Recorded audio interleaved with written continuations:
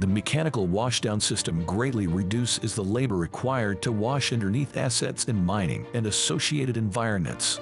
The cannon's rotation is driven from the pressure of the water, and the range of motion is set between 5 to 360 degrees by two mechanical pins.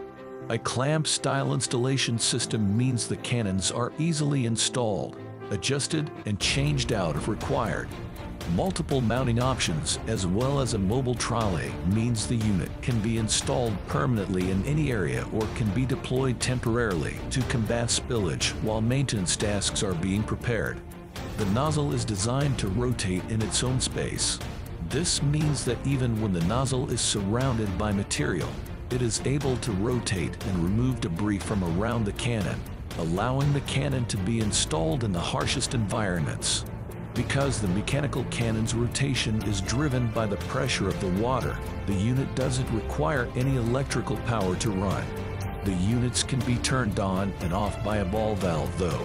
We do recommend the units be controlled by a solenoid valve to ensure accurate washdown timings can be set and controlled remotely, allowing an efficient use of water. The mechanical washdown system's cannons are housed in a steel guard, protecting users from the rotation of the mechanical impeller that drives the cannons, as well as protecting the cannon from falling product and debris. Guardian products are supplied by innovative mining services, making tomorrow's production safer and more efficient. Today,